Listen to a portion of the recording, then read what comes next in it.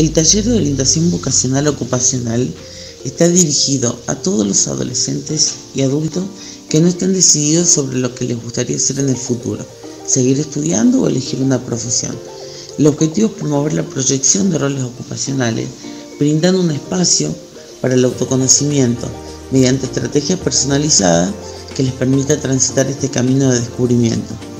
Es importante aclarar que la orientación vocacional ocupacional es un proceso.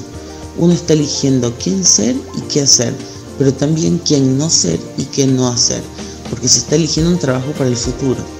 Muchos chicos se concentran en la elección de la carrera y no se proyectan en el trabajo después de recibirse. El primer paso para elegir es querer elegir y ponerse en marcha. El segundo paso es tener la mayor cantidad de información sobre sí mismo y sobre sus opciones. Y por último llega la toma de decisión.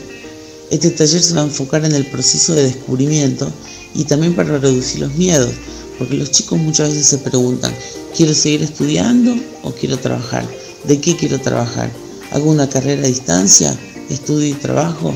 ¿Y si la carrera no me gusta y quiero cambiar? ¿Y si no me adapto a vivir en otro lado? ¿Tendré amigos en la facu o en el trabajo? ¿Mi vida va a cambiar totalmente? ¿Voy a aprender todo lo que me enseñen?